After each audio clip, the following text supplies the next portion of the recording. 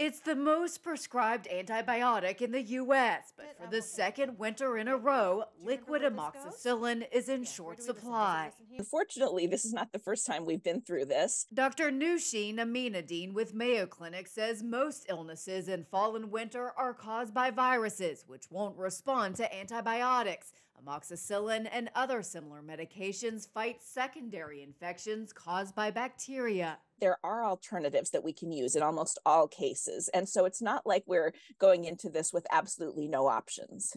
Amoxicillin powder remains on the U.S. Food and Drug Administration shortage list. It's mixed to make the liquid form and given to young children who aren't able to swallow pills. The shortfall was first declared by the FDA last October. Since amoxicillin pills and tablets are not in short supply, Ameenuddin says some pediatricians may use those instead. We can maybe crush a tablet and give that to a child so they get the same amount of the medication um, that can then be mixed into like a teaspoonful of a food that they might be willing to eat.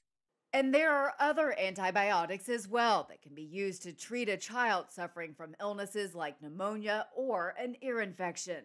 Sometimes they're a little stronger, sometimes they might cause more side effects. And so that's why amoxicillin has been a go to uh, for us for many decades. But we do have other options if your child needs antibiotic treatment. For Health Minute, I'm Andy Gaither.